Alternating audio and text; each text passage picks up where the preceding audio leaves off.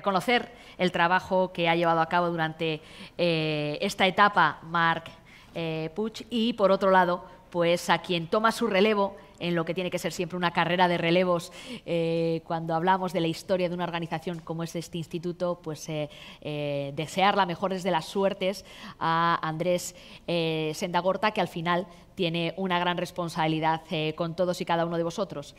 y no solo con todos y cada uno de vosotros, sino que el Instituto de Empresa Familiar tiene una grandísima responsabilidad con España, con nuestro país, porque hablar de empresa familiar es hablar del 90% de nuestro tejido empresarial, es hablar del 70% del empleo en nuestro país y es hablar del 60% del PIB. Luego, por tanto, eh, como diría nuestro presidente, no es cosa menor el lugar en el que nos encontramos y lo que vosotros eh, representáis.